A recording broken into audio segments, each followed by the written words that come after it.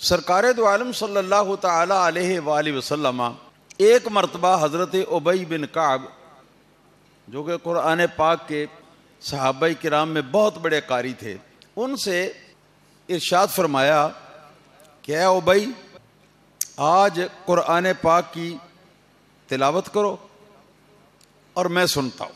ये भी ज़ौक की बात है ना, कभी तिलावत करने का ज़ौक गालिब होता है और कभी कोई तिलावत करे और हम सुने। ये ज़ौक गालिब होता है।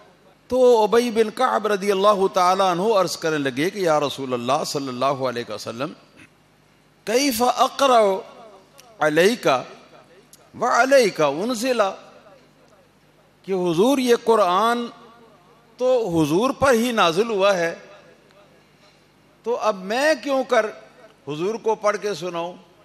ये नहीं हुजूर के ऊपर तो ये खुद नाजिल हुआ है, मेरे पढ़ने की क्या ज़रूरत है? सरकार दो आलम सल्लल्लाहु अलैहि वसल्लम ने इशाद फरमाया कि अल्लाह पाक ने मुझे ये फरमाया है कि उबई से कहो कि वो तिलावत करे और ए हबीब तुम सुन।